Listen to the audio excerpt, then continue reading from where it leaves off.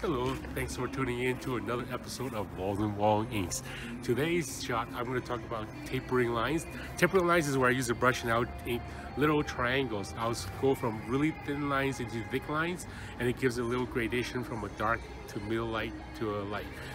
It'll go dark to a middle ground and then to a light tip, uh, tapering lines. So this is for a splash page from X-Men Blue, number 9 and without further ado, just eat these fishes, they're tapering.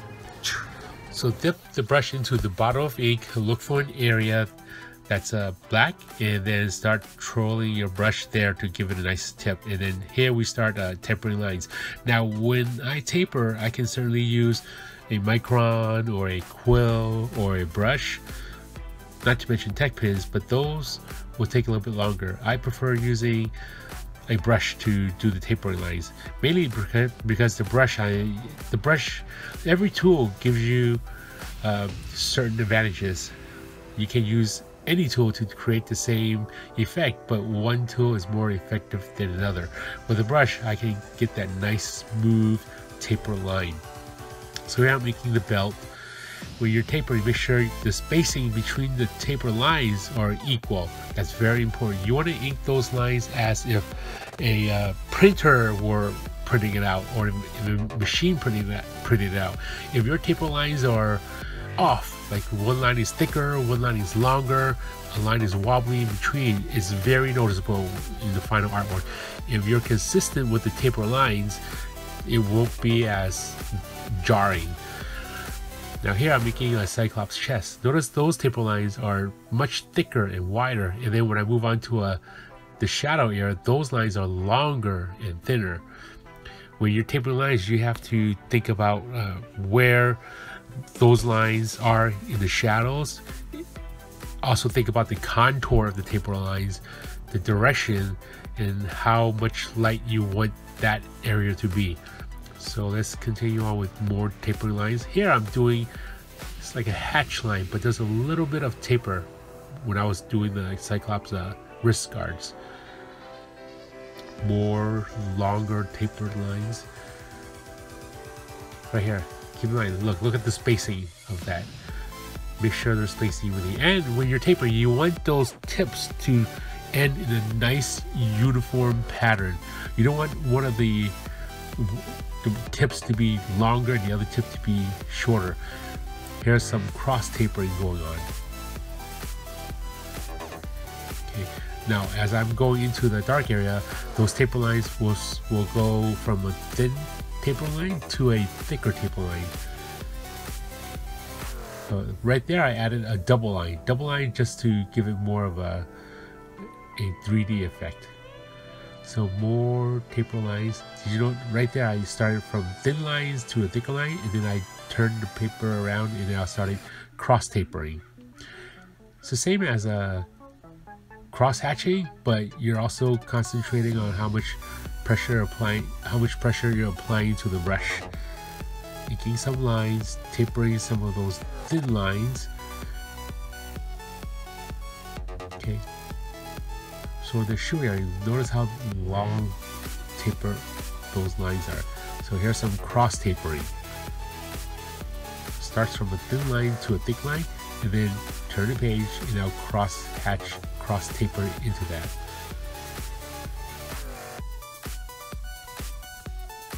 So on this page, what I'm doing is I'm looking for everywhere in the art that has some form of taper line. Now I do this because I'm I'm in a zone where I'm looking for anything that's tapered and I'm concentrating on tapering.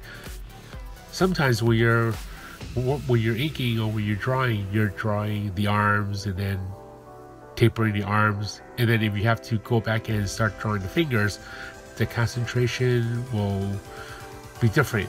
But if you're tapering, you're just totally concentrated on tapering, and then those lines, the art will just looks more, it'll look more uniform and even. Tapering lines, see the wristbands over there, I'll add a line there and I'll hatch in those lines. Hatch tape, I call those hatch tapering, where when I'm going towards the buckle area, it's a little bit thicker. every line should have somewhat of a line weight. Even when you're tapering, there should be some kind of line weight going on. Don't just have a line that goes into a blunt area. That's just like really dry. So right here, that's long, narrow taper lines. Again, make sure those tips starts in a uniform area and the end of the tips will end in a uniform area.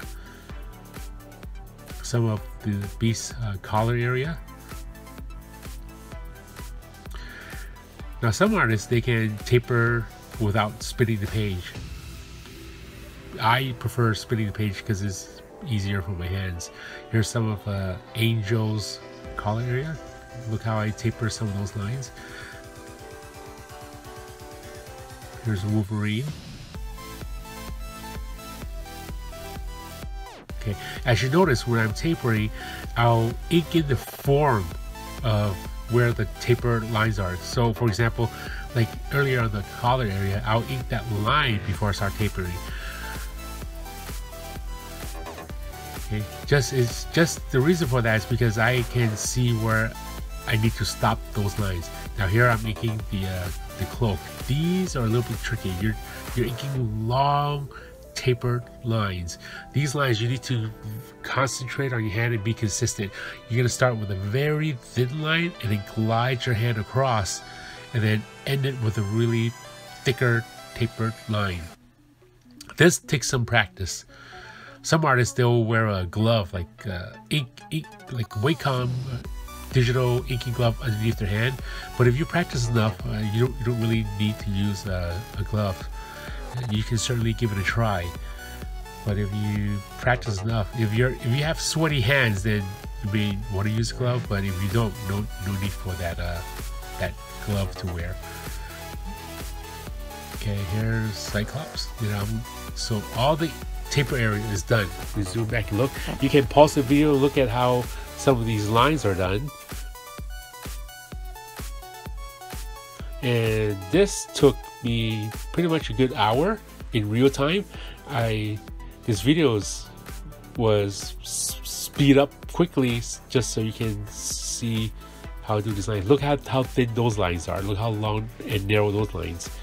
Compare one taper area to another area. You see how each each area is different. When you're tapering, you don't want every line to look exactly the same. Have some variation in your art. The more variation you can create, the better your art will be. Thanks for tuning in to another episode of Wall Inks and how I taper lines. Again, the way I taper lines is I'll use a brush, I'll go from thin to thick into the black, and then that's how I get like a light area to a middle gradation into a dark area. And there's the little turtle. Until next video, be good.